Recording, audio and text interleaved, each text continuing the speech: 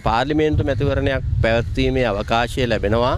පෙබරවාරි මාසෙ වෙනකොට පසුගිය ආණ්ඩුව පිහිටවලා දෙදස් පහළවේ ඉඳලා වසර හතරාමාරක් සම්පූර්ණ වන නිසා පළාත් සභා මැතිවරණය පිළිබඳව තීන්දුව ගන්න වෙන්නේ ඇත්තටම පාර්ලිමේන්තුව තුල තුනෙන් දෙකක බලයක් ලබාගෙන දැනට තිබෙන පනත සංශෝධනය කිරීම හෝ පසුගිය ක්‍රමයට මැතිවරණය පැවැත්වීම කියන කාරණය උඩ. එනිසා පළාත් සභා මැතිවරණය පිළිබඳව නම් පොඩි සැකයක් තියෙනවා කොහොමද තුනෙන් දෙකක බලයක් ගන්න කියන එක. හැබැයි පාර්ලිමේන්තු මැතිවරණය ඊළඟ පවත්වන එකේ නම් අපිට විශාල විශ්වාසයක් තිබෙනවා.